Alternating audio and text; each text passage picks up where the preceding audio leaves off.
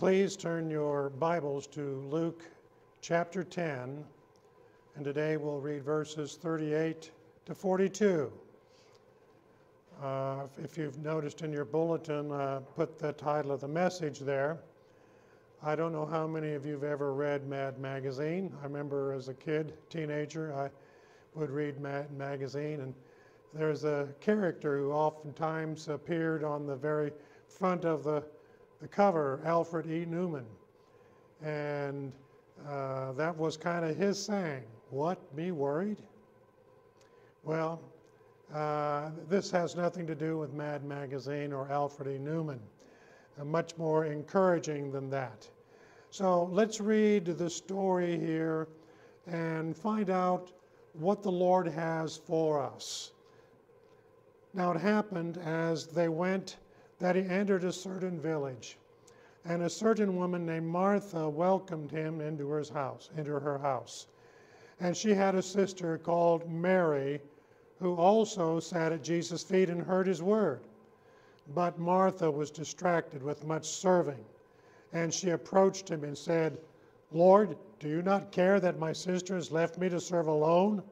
Therefore, tell her to help me. And Jesus answered and said to her, Martha, Martha, you are worried and troubled about many things, but one thing is needed, and Mary has chosen that good part, which will not be taken away from her. Now, the story starts out with the words, Now it happened. This phrase suggests a casual and almost by chance event, something that kind of happens every day. Something so normal that is taken for granted. Jesus coming by and he stops at this house. But as we investigate this story, we will learn that nothing happens just by chance. Jesus is in every circumstance of our lives, and he will teach us something in those circumstances if we will pay attention to him.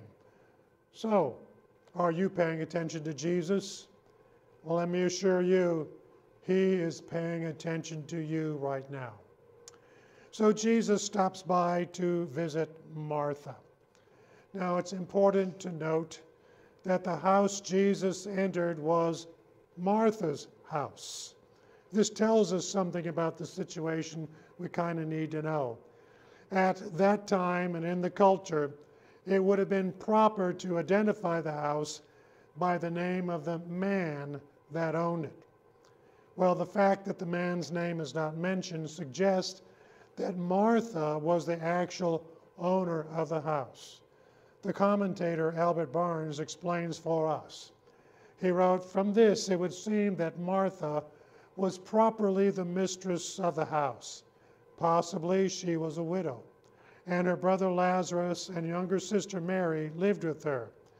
And as she had the care of the household, this will also show why she was so diligently employed about domestic affairs.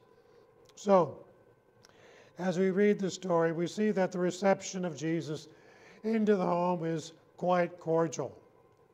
Now, Mary, uh, Martha, Mary, and Lazarus appears several times in the Gospels, from which we conclude that they were more than just disciples of Jesus. They had actually become good friends. And it is quite possible that Jesus used Martha's house as his base of operation during the times he ministered in and around Jerusalem. What we do not see in the story is the disciples of Jesus that traveled with him. Now, those disciples were included in that word they that we read in verse 38. So it can be taken for granted that the 12 were with Jesus and were staying in Martha's house. That had to be quite a crowd. How would you like it if 13 people just dropped in to spend a few days in your house. Matthew Henry, another commentator, offers this comment about the situation. he wrote, There were those who kindly received Christ into their houses when he was here upon earth. It is called Martha's house, for probably she was a widow and was the housekeeper. Though it was expensive to entertain Christ, for he did not come alone, but brought his disciples with him, yet she would not regard the cost of it. So, how can we spend what we have better than in Christ's service? Nay, though at this time it was grown dangerous to entertain him specially so near Jerusalem, yet she cared not what hazard she ran for his name's sake. In other words, she loved Jesus so much that she was willing to put out whatever it would take to take care of Jesus and the disciples, even if it would cost her something um, of persecution. Now, one benefit of having Jesus stay at the house was the many opportunities for private teaching. Now, Jesus' public teaching was very revealing of the general needs of salvation and holiness for the masses of people. So we understand that certainly mass evangelism is important in the work of the kingdom of God as it captures the attention of people that would not otherwise hear the gospel. But in the quiet of the home, with only a few close friends, Jesus was able to share the deep things of God's Word and God's will for people's lives. This should be the focus of our attention when we come to church services. You see, this is not just a Christian duty. We must come individually to hear from God and to absorb from His Word what He has for us personally. Now, this story introduces Mary, whom we have not yet met in the Gospel of Luke until this point. Lazarus is not mentioned in this story, but we know from later events that Lazarus does actually exist. Now, we have no way of knowing if Mary was married. It seems from the story that perhaps she was quite a bit younger than Martha and perhaps lived with her, as was suggested by Barnes in his comment that we just read earlier. Verse 39 draws a distinction between Mary and her sister Martha. Something different about these two sisters. The verse says that Mary also sat at Jesus' feet and heard his word. We gather from this that Jesus had started teaching shortly after he entered the house. And Mary, also along with Martha and the others, were sitting at the feet of Jesus listening to him teach. Matthew Henry continues his comment. He says, It seems our Lord Jesus, as soon as he came into Martha's house, even before entertainment was made for him, addressed himself to his great work of preaching the gospel. He presently took a chair with solemnity, for Mary sat to hear him, which intimates that it was a continued discourse. In other words, what Jesus was having to say took a while, took a long time. But at some point in the lesson, Martha decided to leave the room to prepare a meal for the crowd. Mary, being the other woman in the house, was expected to leave the room to help her. Now, that's pretty common in a household. If there's, you know, a few women in the house, when it's time to prepare a meal, they're usually the ones that get up and go into the ki- kitchen to fix it, while us guys will sit there in the living room and talk and carry on some more. Well, that's kind of the picture that I see here you know, Martha was looking at the crowd and she's trying to get Mary's attention to let's go feed these people. However, Mary was absorbed in what Jesus was teaching. She was listening to him, okay, paying attention. Now, we can't know how much time elapsed between verse 39 and verse 40, but soon Martha became distracted from listening by thoughts of what was going to take to feed all these people. She's still there, she's halfway listening to Jesus, but now her mind is working. Well, I've got this in the fridge and I've got this in the cabinets, and we'll need this. And started thinking this, very distracted by those thoughts. Now, Martha was not less spiritual than Mary. You see, Martha was a practical woman. And while she was listening to Jesus, her mind was working out the plans for what she needed to do. How many ladies in the congregation, as they're listening to the service, their mind kind of wanders back home to the kitchen. What I see some grins. What's in the crock pot? Uh, hope it doesn't, you know, the sermon doesn't take too long because I need to get that out and get ready.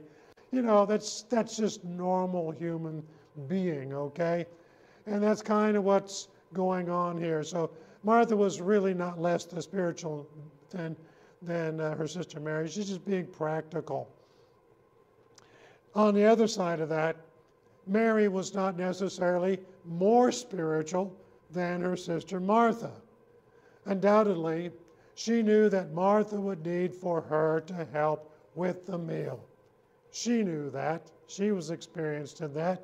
She was a lady. She understood the mechanics of what go- goes on in a household.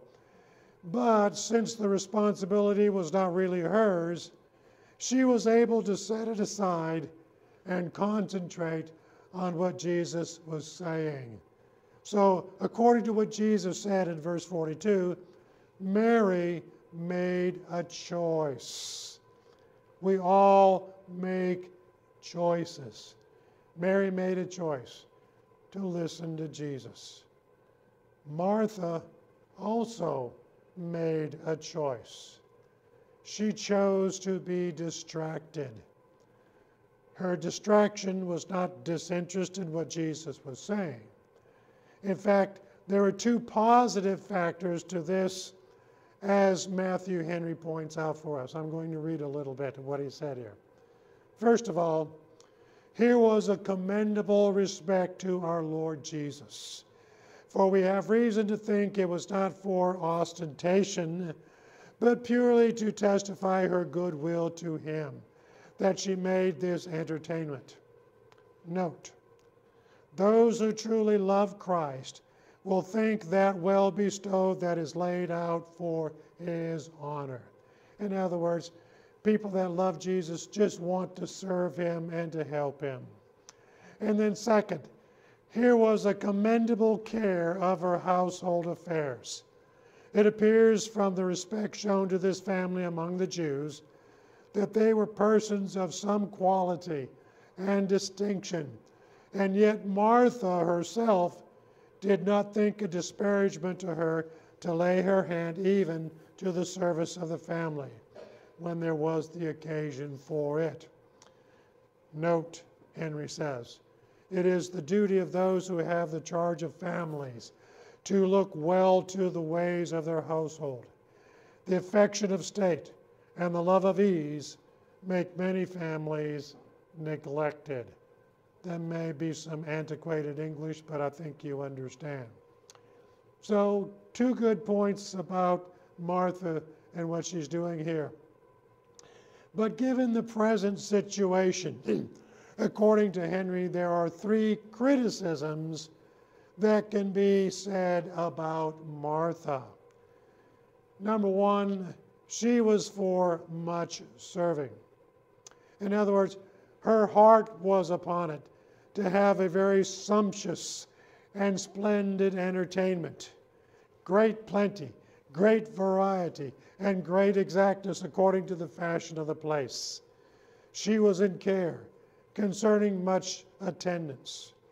Note, it does not become the disciples of Christ to affect much serving, to affect varieties, dainties, and superfluities in eating and drinking, What need is there of much serving when much less will serve? I translated that into modern American. Keep it simple. Just keep it simple. Second, she was cumbered about it. In other words, she was just distracted with it. Note, whatever cares the providence of God cast upon us, we must not be cumbered with them, nor be disquieted and perplexed by them.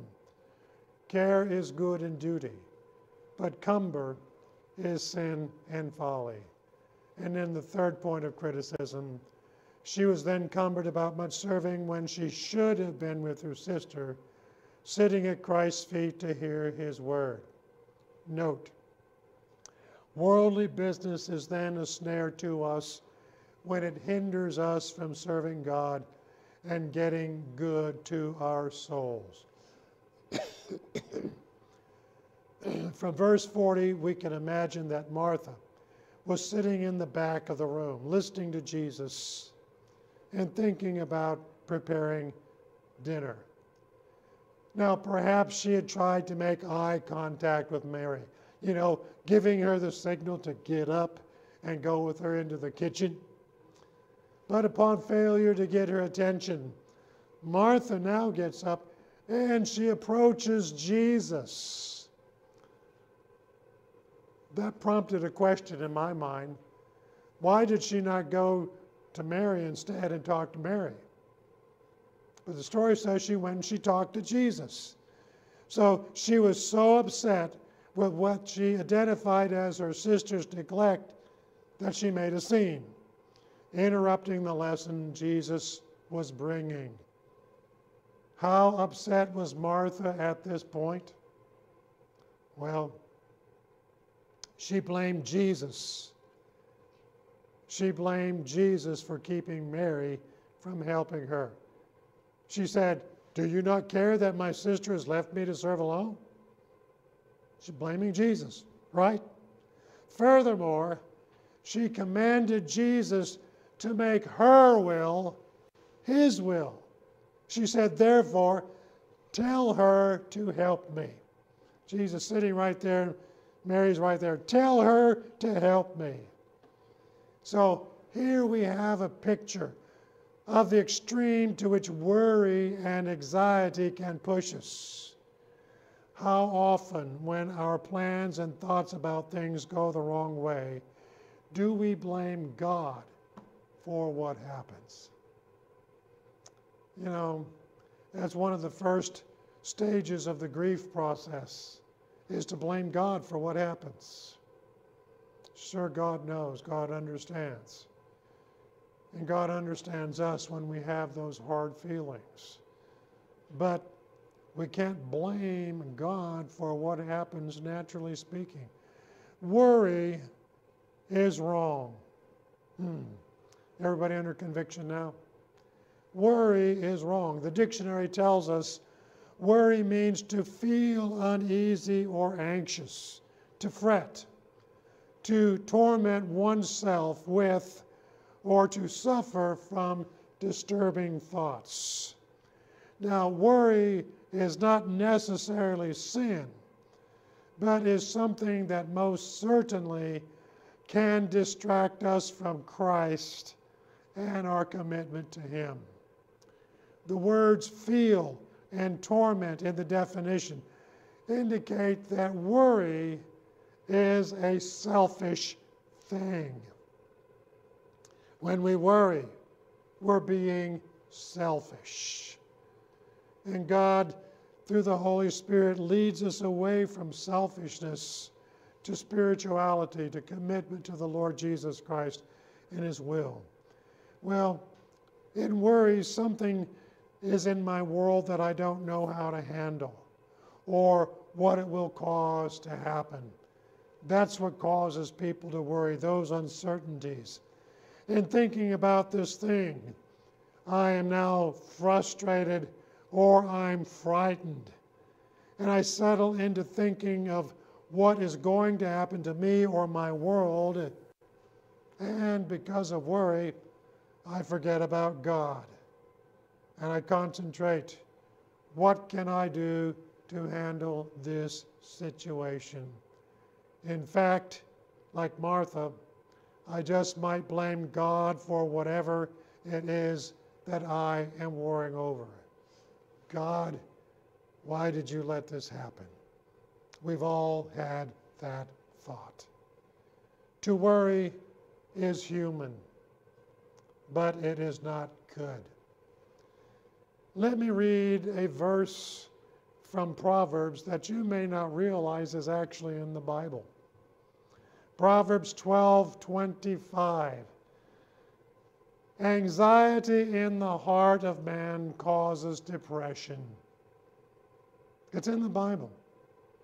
Anxiety, worry in the heart of man causes depression. If you feel depressed, it is because worry has distracted you from trusting in God. Now, if you watch television, you'll see commercials advertising medications that have been invented to mask the symptoms of depression. And it seems that there are more depressed world in today than ever before. How frequently these medications are advertised on the television, newspapers, magazines.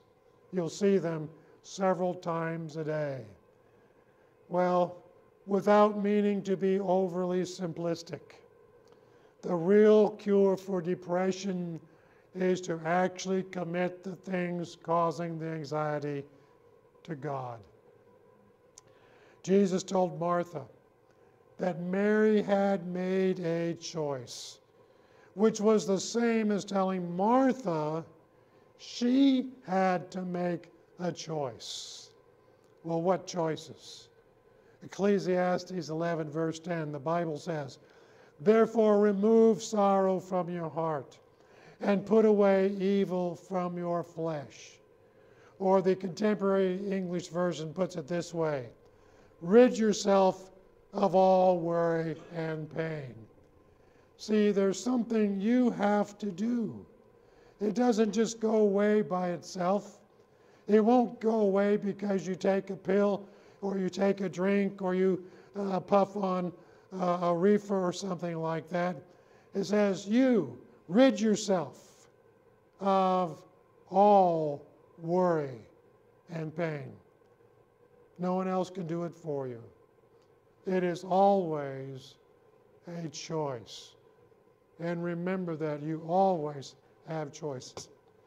Then Proverbs chapter 3, verses 25 and 26 says, Do not be afraid of sudden terror nor of trouble from the wicked when it comes. Listen, for the Lord will be your confidence and will keep your foot from being caught. In those verses, the Bible gives us a strong command. It says, Do not be afraid. Boy, that's, that's not an easy command to obey. You know, when things hurt us and scare us, there's a natural tendency to be afraid. But we have a equally strong promise from that very, very same scripture. How can we not be afraid? Because the Lord will be your confidence. You have to understand that God is very real. God is very much aware of your life and your circumstances, what you're feeling. And when those scary thoughts come to you, believe it or not, He's right there. He will be your confidence. But you have to make the choice. Okay? Make a choice between worry or God's confidence. Which choice appeals to you? And you know, when you are challenged by that, you just have to say, Lord, I'm hurting, I'm confused, I'm worried right now. Help me, Lord, to put this aside and have confidence in you. Now, I'd like to read Ecclesiastes 5:20 again from the contemporary English version. It puts Ephesians, excuse me, Ecclesi- I can't say that word today. Ecclesiastes 5:20 in a very positive way. Listen what it says. God will keep you so happy that you won't have time to worry about each day. Yeah. God will keep you so happy that you won't have time to worry about each day. Can you believe this? Can I believe this? Will you let God do this for you? Or will you choose to be absorbed by yourself and the thing that is causing you to worry? You see, the choice is yours. And as you make that choice, you will need to pray. It doesn't go away just through wishful thinking. You need to pray and talk to God, who is your confidence. You may need to talk over your situation with spiritual people that can understand and sympathize and maybe give some advice, some encouragement along the way. But God will most certainly help you to commit those worrisome thoughts to Him so that He can work out His will in those circumstances where you see no solution. Well, what did Jesus teach about worry? He spoke to, about worry very directly in Matthew chapter 6, verses 25 through 34. And I'd like to read that in closing, again from the contemporary English version. Jesus says, I tell you not to worry about your life. Don't worry about having something to eat, drink, or wear. Isn't life more than food or clothing? Look at the birds of the sky. They don't plant or harvest, they don't even store grain in barns. Yet your Father in heaven takes care of them. Aren't you worth more than birds? What's the answer to that question? Yes. Can worry make you live longer? Why worry about clothes? Look how the wild flowers grow. They don't work hard to make their clothes, but I tell you that Solomon, with all his wealth, wasn't as well clothed as one of them. God gives such beauty to everything that grows in the fields, even though it is here today and thrown in the fire tomorrow. He will surely do even more for you. Why do you have such little faith? Jesus asked. He says, Don't worry and ask yourselves, Will we have anything to eat? Will we have anything to drink? Will we have clothes to wear? Do you see worry? Don't worry. Only people who don't know God are always worrying about such things. Your Father in heaven knows that you need all of these things. But more than anything else, listen, put God's work first and do what He wants. Then the other things will be yours as well. He concludes his thoughts with this Don't worry about tomorrow, it will take care of itself. You have enough to worry about today. What? Me worried?